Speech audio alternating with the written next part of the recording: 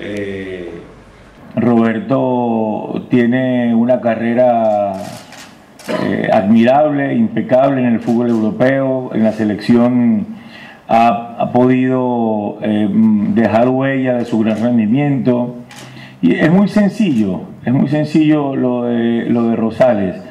Difícilmente uno como seleccionador, difícilmente uno como seleccionador logra tener dentro de todos los futbolistas, dentro de todo el universo de futbolistas a convocar el, despertar la mayor eh, identificación con nuestro trabajo. Y con Roberto eh, ha sido un caso muy especial para nosotros, porque él venía siendo titular casi indiscutible de la selección. Cuando nosotros tomamos la selección, él venía saliendo una lesión en su tobillo, lo trajimos a la selección, nos jugamos por él en un cupo en la Copa América Lastimosamente tuvo una recaída y ahí en su lugar entró Alexander González de muy buen rendimiento. Una de las maneras que uno tiene para poder despertar competencia dentro de la selección es respetando los buenos momentos y el rendimiento de los jugadores que pasan de ser eh, sustitutos a ser protagonistas eh, eh, titulares.